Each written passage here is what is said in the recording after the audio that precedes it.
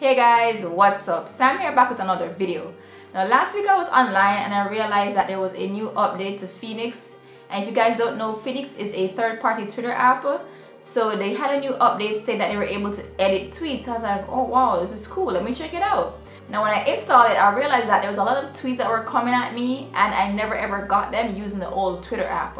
So I was like, oh my gosh, this is like crazy. So I have to stick to this app, right? However, I realized that anytime I get a Twitter notification, it takes like five minutes later for it to come on the Fenix app. So I was kind of frustrated and I was thinking, why can't they have a good third-party Twitter app that gets notifications properly? Then somebody told me that it's because of the API restrictions placed on the third-party apps by Twitter themselves why notifications are always lagging behind. Now with that problem came this video. Alright, so in this video I'm to go over the best Twitter app for your Android device. Alright, let's jump into the video. So basically what I'm to do is go through the pros and cons of each Twitter application and at the end I'll let you guys know which one I think is the best and you guys can let me know which one you prefer in the comment section down below.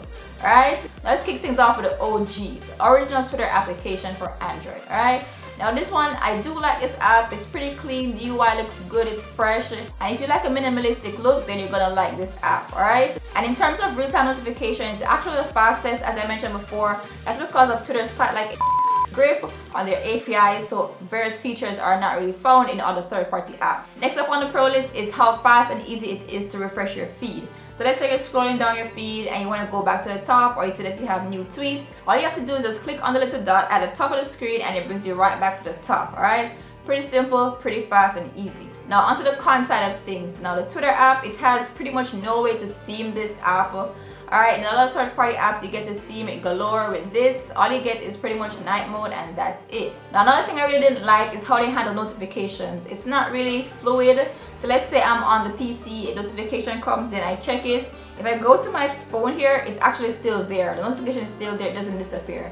So that's something that they can address in a future update, alright? Now another thing on the con list is that my tweets are never in order, alright? I'm scrolling down my timeline, I see something from 5 seconds ago, I'm like, alright, cool.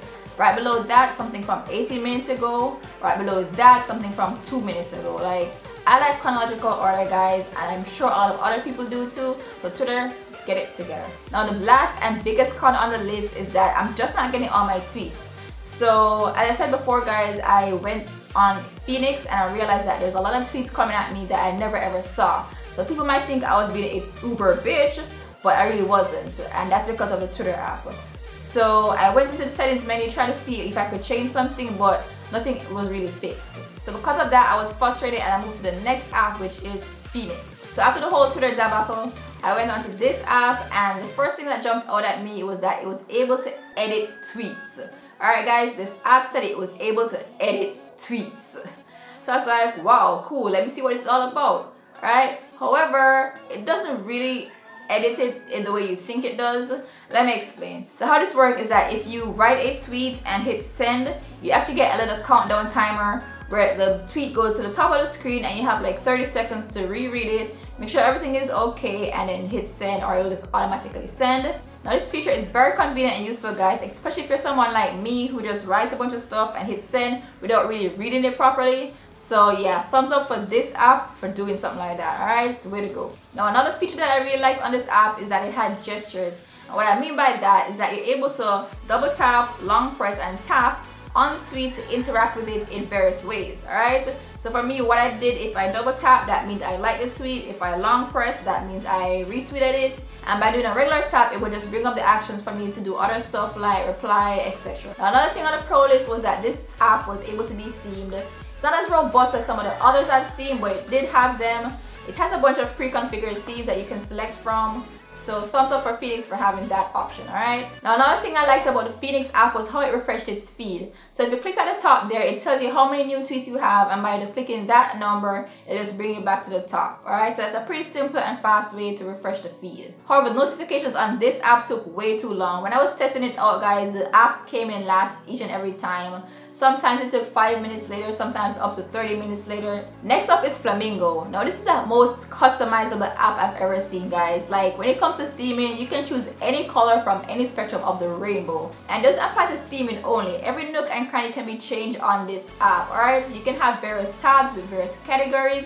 You can change the font size, the font type, everything about this app pretty much can be changed. Also guys, the notification time on this app isn't bad at all, alright? It pretty much came second while I was testing out all the various apps. Another really awesome feature that I found about this app was that it had a read later option.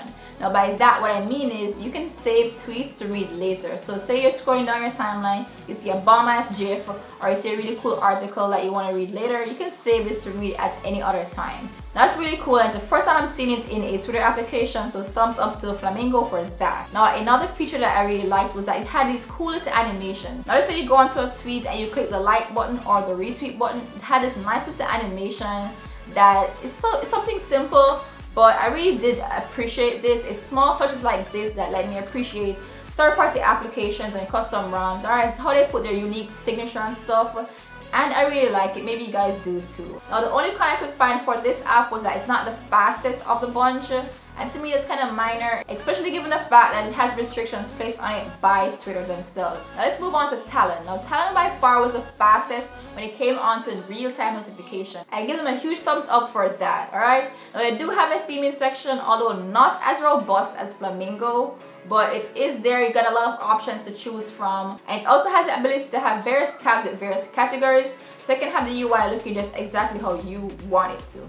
Now another really great feature that this app has is that it has a backup and restore option. Now let's say you change phones really often or you're someone like me that flashes ROMs constantly. You keep on having to reinstall these apps.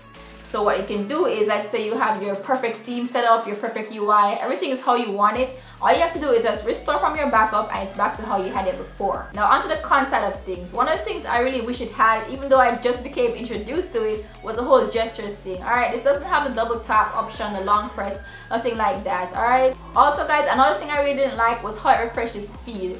For me, it was like one step too much. Alright, to refresh the feed, what you had to do was click on the little tab at the top and it would show you at the bottom how many new tweets you had and you had to come down click on that and then it would refresh itself for me it's a little bit too much. I would have rather if you could just click on home and just refresh it itself like on instagram. Now finally the last thing on the con list for the talon app had to do with its dms now i realized that the direct messages on twitter on the third-party applications they're actually not all there. So if you go on the twitter app you see every dm you ever had from the beginning of time However, with the other apps, it seems to have just like a restricted amount of DMs that you can show.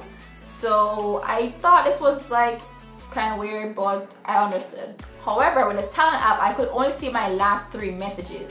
Now let's say I had 50 DMs overall, and on the other apps, I could see like 20 15 or whatever with this it was just three now for me that was a huge bummer because up until this time this was the one that was in first place for me i was definitely loving this app and how fast it was it had a theming but with the whole DM situation, I gotta give it a pass. So yeah guys, that's pretty much all the Twitter applications for Android, or should I say the more popular ones. Alright, so if you want the fastest one in terms of notification, then Talon's gonna be your best bet. If you want the one that has the most customizability, then it's gonna be Flamingo. However, if you want to have the ability to edit tweets, then you need to stick with Fenix. And if you want to be basic and just want something that works for you, then just stick with the Twitter app. Alright? Yeah guys, that's pretty much it. I chose Flamingo to be my number one Twitter application. Tell me your preference in the comment sections down below. Alright? I do hope you liked this video. Hope it wasn't too long. And yeah, as always guys, you've been awesome. My name is DaKoin and I'll catch you guys in the next video. Bye.